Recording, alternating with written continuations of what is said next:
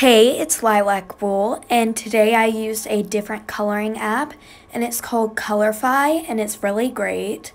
I like it a lot, and instead of talking about what I'm using to color and stuff like that in this app, I decided I wanted to try something new.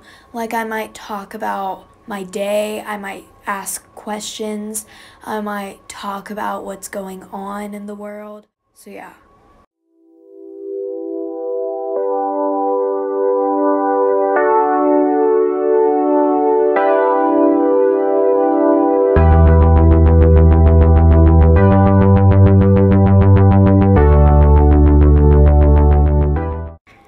I just thought I would mention in today's video a very major problem that's going on right now is the coronavirus. It's happening worldwide.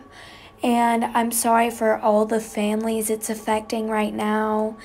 And I just want to pray for them. And it's canceling a ton of major events like schools, baseball games, basketball games um, rallies, carnivals, fairs. It's a major problem right now, and I just want us to pray or whatever you do to hope for the best, and I hope it ends soon.